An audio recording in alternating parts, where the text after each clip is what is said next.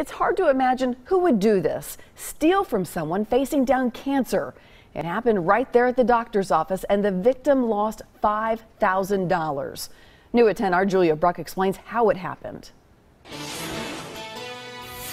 I bought this little purse at a yard sale. A simple and compact bag. I like taking it with me because it's small and I don't have to wag a whole bunch of stuff. Tina Bachenraeny thought it would be the perfect purse for a very important doctor's appointment at the TriStar Centennial Medical Campus earlier this week. Signed in. I went to the restroom. Tina was waiting to talk with her oncologist.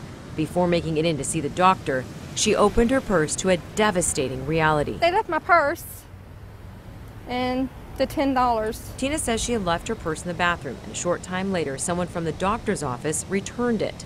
But Tina says by that time, her husband's paycheck of more than $5,000 cash was gone. Didn't even get to see the doctor yet because I was so upset about what had happened. Things got even worse. Tina says once in the doctor's office, she learned she now had to fight stage one cancer. You're at a place that people are going through a hard time in their life. For you to just up and think it's your money and to enjoy it, it's not. A spokesperson for TriStar Centennial Medical Center says an internal investigation has been launched.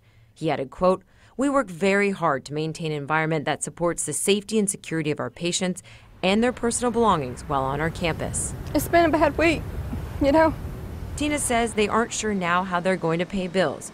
And to make matters worse, she soon expects to have to say goodbye to her dying aunt. They say God won't put more on you than you handle. I told him the other day I've had enough.